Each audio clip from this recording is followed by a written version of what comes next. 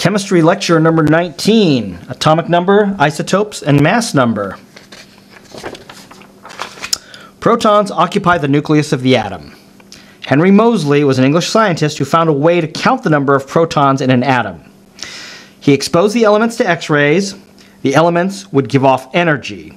And this is just a fancy way of saying he zapped the elements with X rays. And then, after they were zapped with the X rays, the elements would uh, give off a certain glow of energy.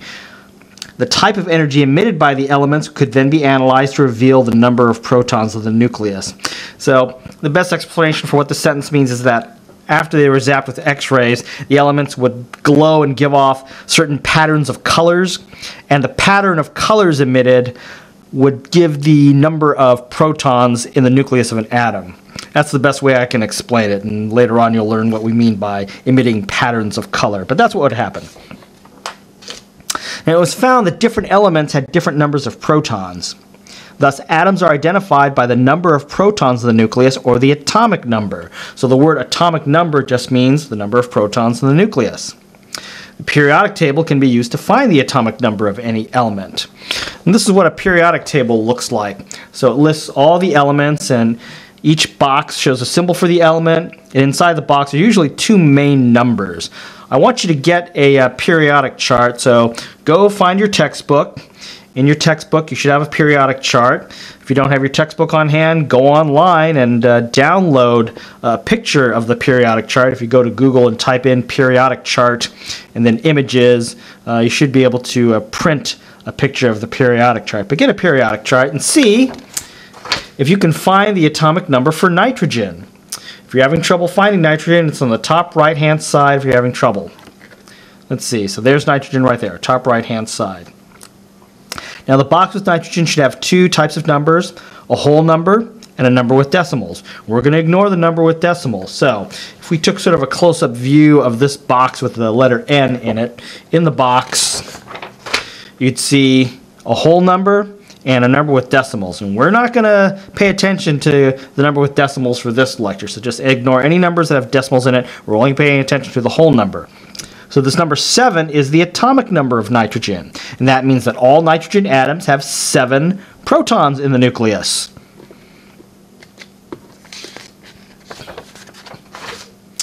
Now in a neutral atom, the number of protons in the nucleus is equal to the number of electrons. So nitrogen has 7 protons and 7 electrons. Atomic number is the same as the number of electrons it has.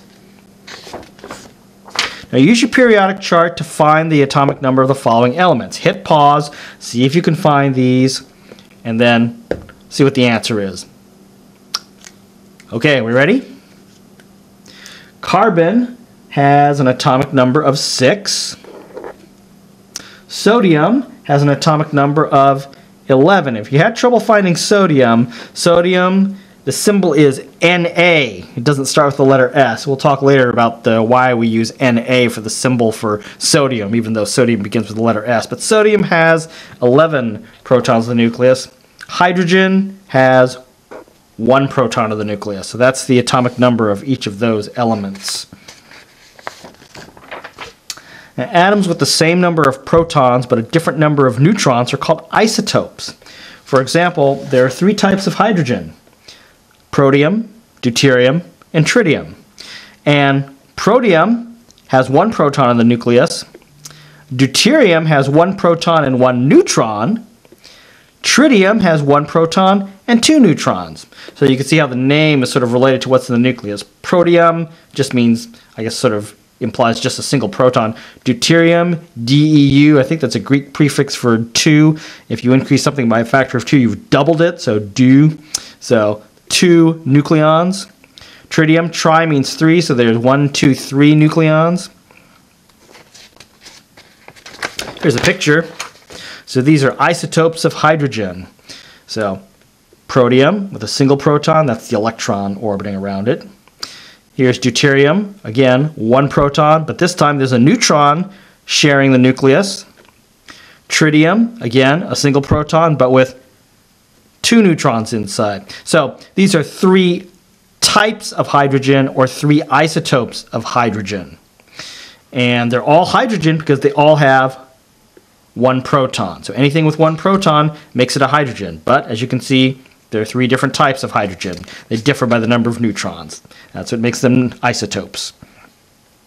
If you look at what I've written here, um, these symbols give information about the uh, these particular types of atoms. So H is the symbol of the element. The number on the bottom is the atomic number, 1, 1, 1. The number on top tells the number of protons plus neutrons. So one proton, and this tells you the total number of protons and neutrons. It doesn't tell you how many protons, but gives you the sum of the number of protons and neutrons.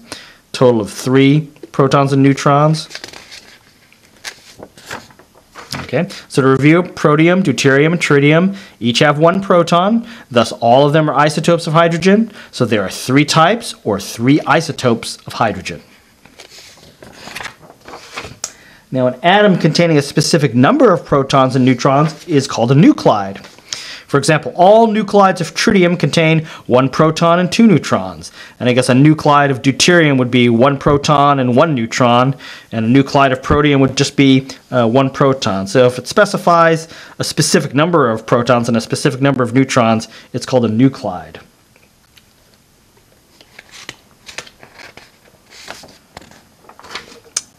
The total number of protons and neutrons in a nuclide is the mass number.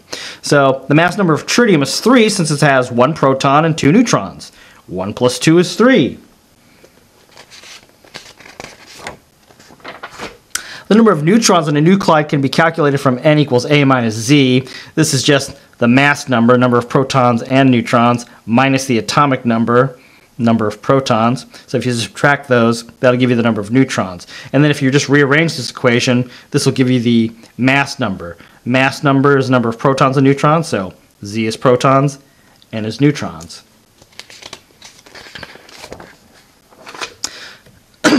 Here's the uh, notation for nuclides. The way you uh, write the uh, notation for nuclides, it's just the same way that we did for the isotopes of hydrogen, you have the symbol of the element, and then on top is the mass number, on the bottom is the atomic number. So X represents the symbol of the element, A is the number of protons and neutrons, Z is the number of protons, or the atomic number. So here's an example here. Here's a nuclide of uh, a carbon atom. This particular carbon atom, or nuclide, has a mass number of 14 and an atomic number of 6. So 14 represents protons plus neutrons. 6 just represents the number of uh, protons. So if I were to subtract 14 minus 6, that tells me this has 8 neutrons in this particular uh, one. And it also has 6 electrons and 6 protons proton to neutron number is the same. How many protons, neutrons, and electrons are in 7 lithium? Well, the problem with this one is that where's the atomic number down here? It's not given. Well, what you're going to have to do is you're going to have to look on the periodic chart to find the atomic number. So, 7 lithium. So, if we were to look up lithium on the periodic chart, it's right here. And then down here, I don't know if you can see it very well, but do you see the number 3 down here? So that's the atomic number of uh, lithium. See, number 3 next to the Li. So that tells you that lithium has 3 protons. So, 3 protons, and the number of protons equals the number of electrons. 3 electrons And then how many neutrons? Well, 7 minus 3 is 4, so that's going to give me 4 neutrons. So this particular isotope of lithium has 4 neutrons in it. All lithiums are always going to have 3 protons and 3 electrons. Now, sometimes the notation for a nuclide is written like this U-235 or uranium-235. And the number 235 represents the mass number. So if you were to rewrite this in the notation that I first showed you, you would write it as 235U, like that. And then you would look on the periodic chart to find the um, atomic number of uranium. So let's do that. Well, let's see. Here's uranium down here. What that number is that? 92? Yeah, it looks like the number 92 right there. So that's the nuclide we're working with. So, how many protons, neutrons, and electrons are in copper 65? Hit pause and see if, you can solve it. Okay, you ready for the answer? So what I like to do is I like to just start rewriting this. So copper and then the 65 I'll put up here, that's the mass number. And we have to look on the periodic chart for the uh, atomic number of copper. Where's copper? Oh, here it is. Copper is right here. So if we look at it, copper has an atomic number of 29, I think. So copper has an atomic number of 29. So we can say that the copper 65 has 29 protons,